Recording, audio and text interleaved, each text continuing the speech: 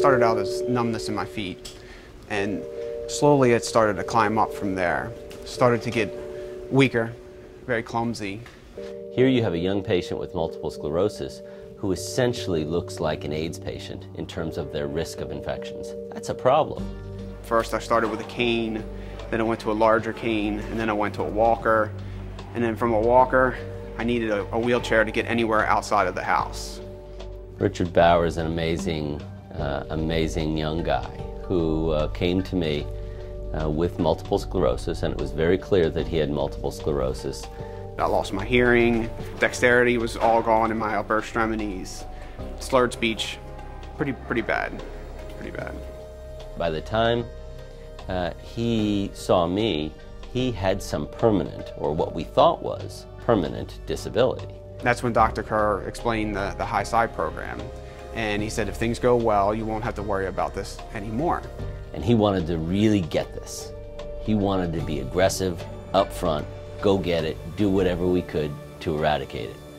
The plan was to wipe out my current immune system, bring it down to, to nothing, allow it to reboot, and the hopes being to not have the multiple sclerosis anymore. High dose cyclophosphamide is a particular dose of a chemotherapeutic drug that eradicates the immune system, but not all of it. And the reason that it doesn't eradicate all of the immune system is that there's one particular progenitor cell or stem cell in everybody's own bone marrow that creates kind of new immune cells as the old ones age. Those are your bone marrow stem cells. Well, those particular stem cells essentially have an enzyme that spits out the chemotherapy, the high dose cyclophosphamide. So they alone are resistant. But the rest of the immune system, the part of the immune system that has basically gone amuck and is now attacking the individual's brain and spinal cord, is wiped out. So the idea here is to basically wipe out the immune system, start it over from the seed, the stem cell, and rebuild your immune system uh, so that it uh, no longer recognizes your body as foreign. When we first came to this idea, uh, we decided that we would hit the patient with the high dose chemotherapy, allow the immune system to come back up, and watch. And the idea was to eliminate the abnormal immune response and totally replace that with a new immune system.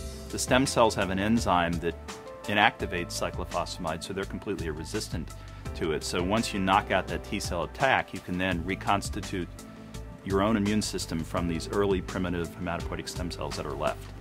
And we knew, based on the biology of stem cells that Rick and others had done, uh, that this dose of Cytoxan was not going to kill people's stem cells, that these patients were going to recover their counts, and that the supportive care had advanced to the point that uh, we could carry them through.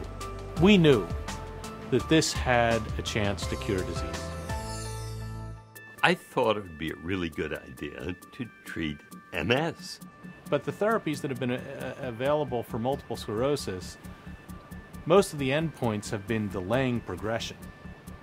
Not stopping it, delaying it. So we expected that we would stabilize their disease wherever they came in, they just wouldn't get any worse. Turns out not to be true. They actually got better. So people threw away their canes. Uh, they went back to work. They started having normal relationships in their family. Things like that, that really kind of, even early on, we recognized and said, this is something pretty special. We're now seeing patients actually gain function that they didn't have. People able to uh, not need crutches anymore. Uh, people able to walk without a cane. Uh, people able to, to run again that, that could hardly walk. I pretty much went from, from being debilitated to getting my hearing back, getting my dexterity back. My slurred speech was gone. Um, just my feelings, that, I mean, everything was pretty much numb, had, had come back. So it was, it was pretty dramatic. And then I'd say within a complete year, I, I'm where I am right now. It just, it was that dramatic for me. In many, but not all, the disease stayed away for as long as we have followed these people. In some people now out to six years. A treatment that can completely reboot the immune system so that you don't have to be on lifelong therapy for an autoimmune disease, I think is um, a real paradigm shift. She's doing much better. There's no evidence of graft No versus. evidence of graft versus. All right, well, we're going to get started tonight. Can we start to think about cures where the MS is gone for ever? Now, we don't know the answer to that yet, but so far, so good. So, of approximately 30 patients that we followed, we've got evidence for about 20 of them longer than a year. None of those 20 has any evidence of disease activity. So the disease is completely gone, as far as we know. It could come back later, um, and we'll deal with that as we go.